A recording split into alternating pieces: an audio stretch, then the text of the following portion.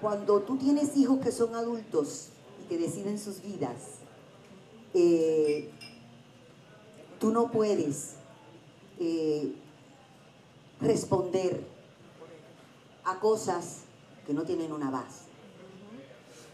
Yo tengo, aparte de Noelia, tengo dos hijos más míos, más las dos hijas de mi esposo, y una familia extraordinaria, que no se cambia de la noche a la mañana, que no es una, una contestación a una pregunta, eh, que no tiene una base ni un fundamento.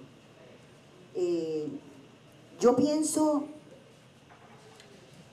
que la relación de las personas, en este caso un artista que tiene un conflicto decidido por ella, no por mí, ni por mi familia, ni mis hijos, este, un conflicto, si eso se arregla, no es en el medio de un plató o en una conferencia de prensa o delante de los periodistas, porque se trata de algo de familia.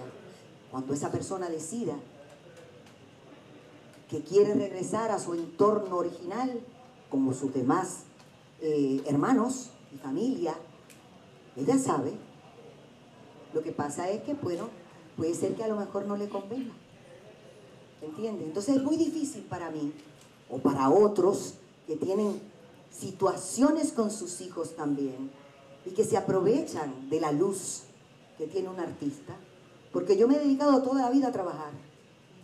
Toda la vida, desde que tengo 10 años, que fue la primera vez que vine a este país, trabajando, con una familia maravillosa que hemos construido y que están ahí, todos, viviendo felices, no voy a decir que esperando, porque después de 18 años de una mentira tan grande,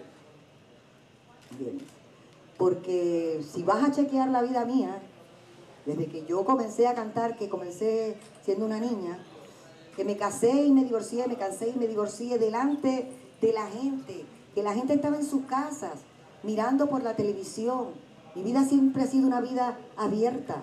Entonces, de la noche a la mañana una persona no puede cambiar, hacer una cosa que no es y que nunca ha sido. Entonces, hubo un momento en mi vida en que no supe bregar con la situación y se me presionó tanto que dos de mis discos yo no los trabajé, que decidí quedarme un día en mi casa y no salir más, porque era tanto el dolor, porque era la obligación de los periodistas preguntar.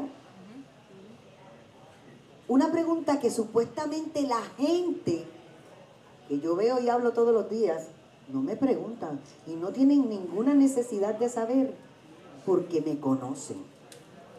Yo sé que es su trabajo y con mucho respeto yo contesto lo que se me pregunta. Pero como ser humano, debo decir que cada uno de nosotros con el trabajo que tenemos tenemos que ser responsables. Cuando uno va a hacerle una pregunta, en el caso de un periodista, a un artista hablando de su vida íntima, hay que ser muy cuidadoso porque tienes que ser responsable aunque te manden a hacer algo. Porque yo puedo tener un trabajo hoy y me pueden decir, usted tiene que ir a cortar aquella cuerda que está a 7000 pies allá arriba. Y yo no me voy a tirar porque yo tengo una familia y yo puedo morir ahí. O yo puedo ir a hacer algo que me mandan en mi trabajo y yo voy a ir a hacerle daño a alguien y yo por conseguir ese dinero, yo lo voy a hacer. Hay una cosa que se llama karma. Y uno tiene que ser responsable con su trabajo. Uno tiene que ser responsable con lo que entra por la boca, que es lo que uno se come. Digo responsable porque uno tiene que hoy en día sobre todo mirar qué es lo que come, porque nos están como quien dice envenenando. Este, y tiene que ser responsable con lo que sale de tu boca, porque puedes sin querer matarle la ilusión o hacer que una persona decida no volver más, hacer lo que por la vida ha hecho y por lo que ha amado este, toda su vida, su trabajo, este, dejarlo, como me pasó en esa oportunidad que dije, necesito coger un break porque no puedo seguir con esto. Siempre he pensado que defenderse, y sobre todo por defenderte de algo en lo cual tú no tienes la más mínima, ni siquiera idea de lo que, está, que se está hablando, defenderse es atacar. Y yo jamás, jamás voy a atacar a ningún hijo mío, a ningún amigo mío, ni a ningún ser humano, por quien sea, por lo que sea y muchísimo menos si es por dinero.